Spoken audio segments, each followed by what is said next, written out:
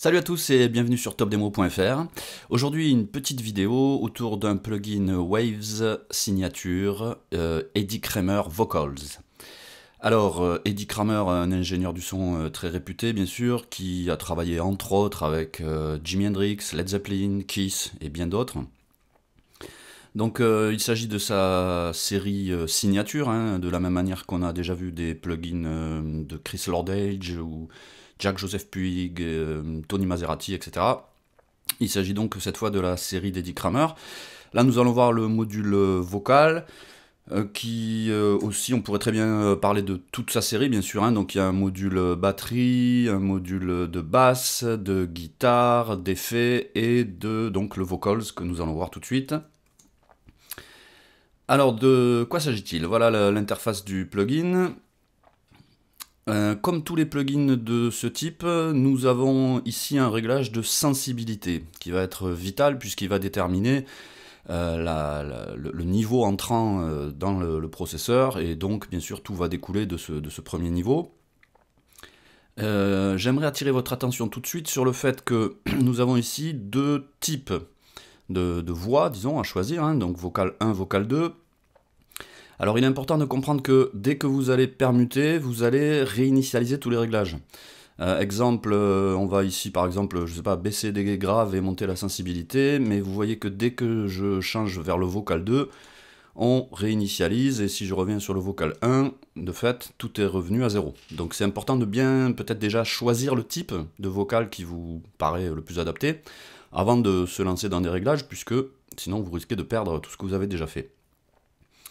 Le vocal 1 est a priori euh, censé, disons, être pour des, voix un petit peu plus rock, et le vocal 2 serait peut-être pour des voix un peu moins, euh, un peu moins agressives, un peu moins, un peu moins rock, encore une fois si on veut.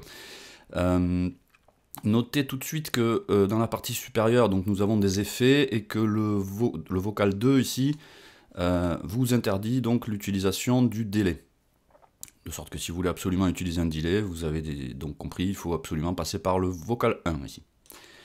Bien. Alors on va voir ce qu'on ce peut faire avec ça. On va réinitialiser euh, tous nos réglages. Ici. Remettre par défaut. Et... Hop. Compresse. Basse, pardon. Donc, premièrement, nous allons écouter la voix sans rien. Donc, euh, au passage, je remercie le groupe Substitut qui m'a permis d'utiliser euh, des prises de son. Donc, il s'agit des prises de son brutes. Hein. On a l'instru qui a été bouncé en stéréo et juste la voix pour, euh, pour ce tutoriel. Donc, on écoute un petit instant.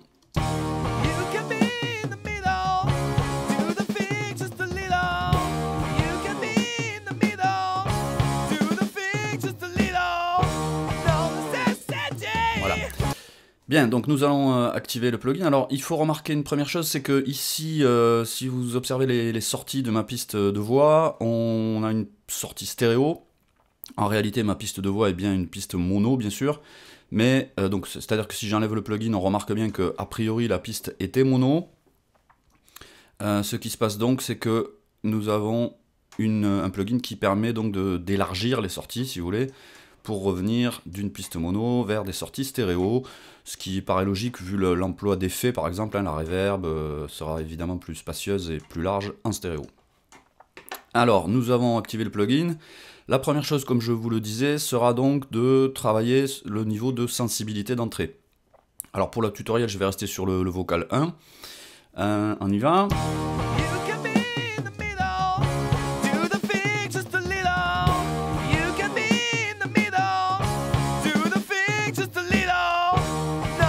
Voilà, donc l'idéal étant d'arriver ici sur le, voyant de sensibilité à une couleur euh, jaune. Euh, le vert étant ok, mais un peu en dessous, le jaune étant a priori optimal, et puis si on est un petit peu trop fort, on serait euh, dans le rouge. Ceci dit, ça c'est une recommandation de départ, parce que si vous trouvez que par la suite les, divers processus engagés fonctionnent mieux avec une sensibilité plus élevée ou plus réduite, c'est bien sûr à, vous de le déterminer. Donc là, on n'est pas trop mal au niveau de la sensibilité.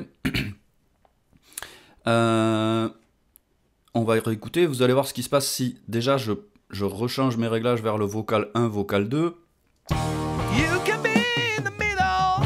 Do the things just a little. Alors, on a déjà les effets. Vocal 1.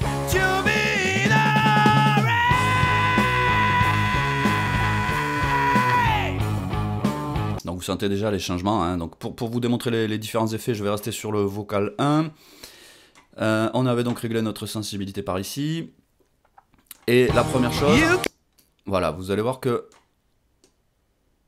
on va détailler un petit peu ce qui se passe ici. Donc, euh, comme vous le constatez, on a ici une section d'égalisation avec un grave, un aigu, un dosage de compression, le niveau de sortie, bien sûr, pour essayer de, rester dans le même niveau que celui qu'on avait au départ. Il ne s'agit pas simplement de, vouloir être euh, plus fort. hein. Vous savez que si on écoute euh, un peu plus fort, ben, on aura tendance à penser que c'est un peu mieux.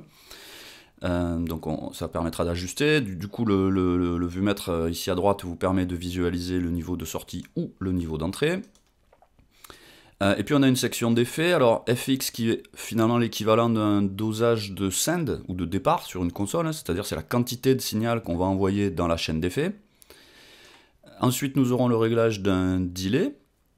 Alors ça va jouer euh, sur le, timing du delay et aussi un petit peu le, nombre de répétitions, le feedback. Et puis le mix, donc des, des retours d'effets, donc la quantité de delay que vous apportez dans votre mixage et la quantité de reverb ici.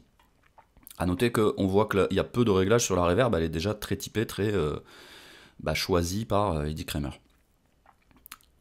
Avant qu'on aille un petit peu plus loin, je voudrais vous montrer ce qui se passe concernant les réglages de grave aigu, parce que c'est vrai que ça paraît un petit peu limite, euh, un petit peu léger, quoi. hein peu de possibilités. Or, on va voir que selon les, justement les types de vocaux qu'on va choisir au départ, ces réglages vont être complètement différents.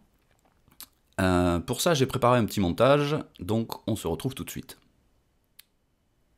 Bien, donc pour euh, vous démontrer un petit peu l'action des, égalisations euh, du Eddie Kramer vocal, voilà ce que j'ai fait. Un petit montage en utilisant le- les plugins Waves Q-Clone et Q-Capture. Donc, voilà ce qui se passe ici. Nous avons le plugin Q Capture sur une piste auxiliaire.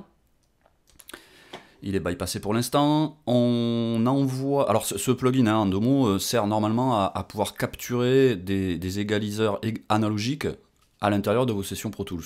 C'est un sujet à part entière, on y reviendra plus tard, mais voilà le montage euh, qui est réalisé. Mon Q Capture ici transmet euh, un signal vers une piste auxiliaire qui contient mon égaliseur de sorte qu'on envoie ici des impulsions, vous voyez, en continu, vers l'égaliseur qui lui se trouve à côté. C'est-à-dire que je vais manipuler ici l'égaliseur comme si c'était un égaliseur euh, hardware, par exemple, externe à, ma session.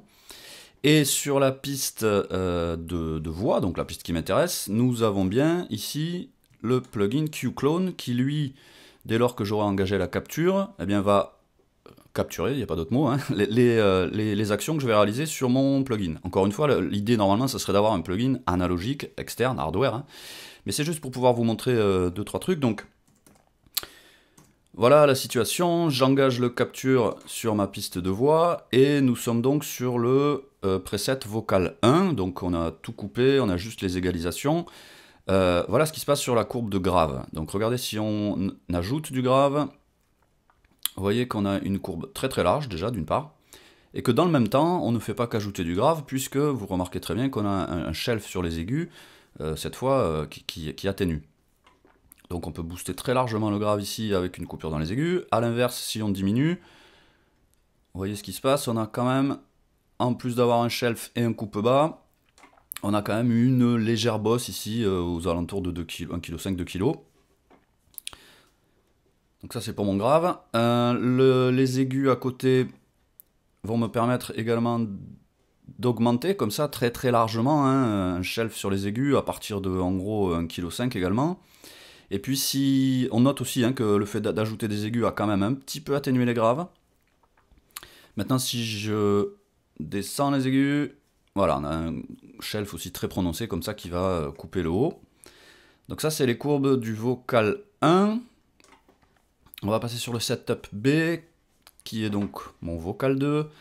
Et cette fois, on voit que les courbes sont un petit peu différentes ici. Voilà, vous voyez que dans le grave, cette fois, on a une pareil, une, assez, bosse assez prononcée, mais moins de coupures dans les aigus. A l'inverse, quand on coupe le grave, on a vraiment cette fois un- une forme de cloche, hein, un bel, qui, qui va couper aux alentours de, on va dire, 150, 140. Donc ça, c'est les courbes ici. Maintenant, le- l'aigu, voilà, qui est cette fois beaucoup plus pointu, hein, pas de shelf cette fois, mais un pic beaucoup plus pointu aux alentours de 8 kg. Et si on atténue, l'atténuation est beaucoup beaucoup plus douce, beaucoup moins marquée. Voilà. Donc ça c'était pour vous démontrer un petit peu les actions différentes des, des, des vocales 1 et 2. Hop, hop. Maintenant on va pouvoir se pencher sur notre voix et écouter ce que nous pouvons faire. Bien, nous voilà revenus sur notre voix lead, donc mélangée avec l'instru en stéréo. Euh, on est parti, donc You can be in the middle. vous voyez que le grave est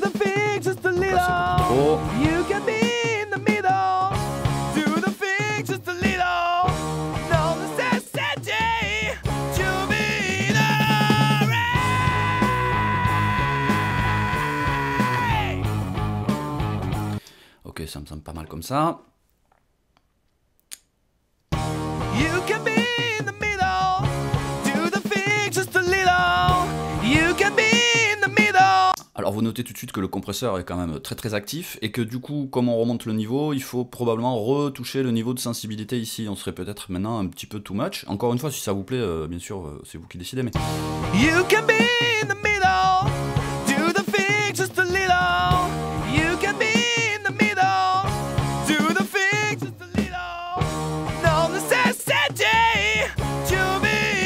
Voilà, donc on voit que c'est un compresseur qui du coup a un, make-up euh, automatique, c'est-à-dire que plus on compresse, plus on relève le niveau, à tel point que du coup on est même un peu plus fort que le niveau de départ.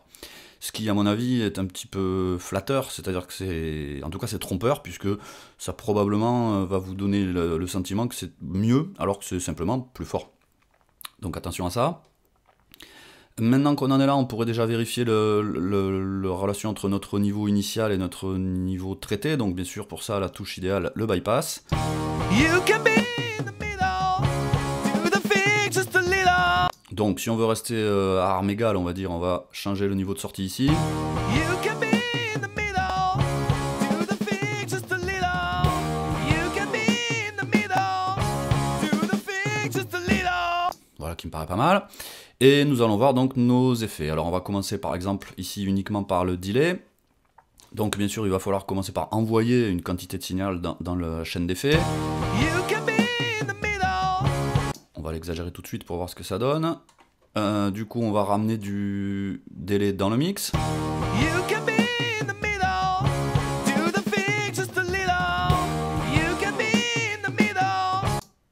Voilà, donc je sais pas si vous entendez, on a un delay un petit peu tr- très très court, hein, de type slap, qui donne juste un petit peu de, de profondeur. On écoute avec et sans.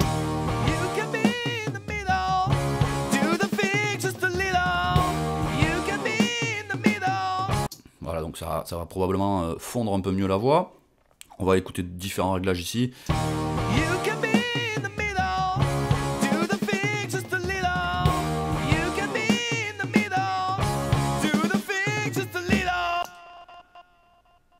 Vous entendez que dès que je change de valeur, hein, on recalcule le delay instantanément. Voilà, donc on a cette fois euh, plus de, enfin, un, un timing plus long et aussi beaucoup plus de répétitions. On exagère encore.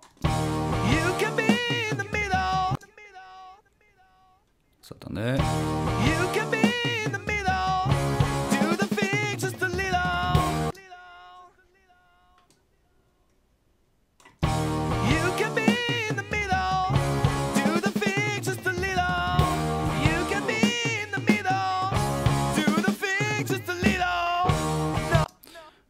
peut-être qu'il y a un petit peu trop de delay là-dedans. On va juste hum, ramener tout ça. Cette fois, on va baisser le delay juste pour écouter la reverb.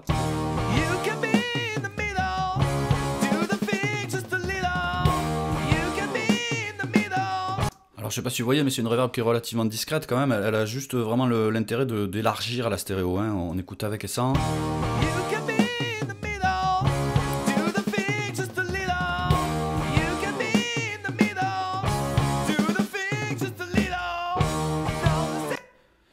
Et on va rajouter notre petit délai ici.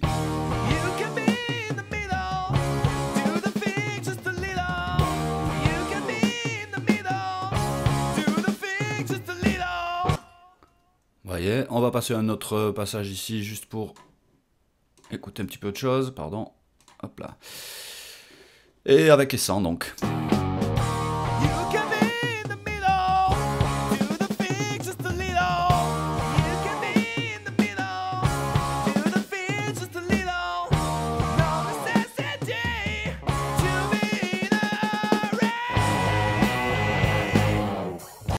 Voilà, donc là la voix s'intègre beaucoup mieux dans le mix, elle est un petit peu plus fondue et euh, on a donné tout de suite une couleur. Alors bon, c'est vrai que c'est des plugins euh, très typés forcément, hein, mais euh, encore une fois c'est assez simple, c'est pratique, c'est rapide.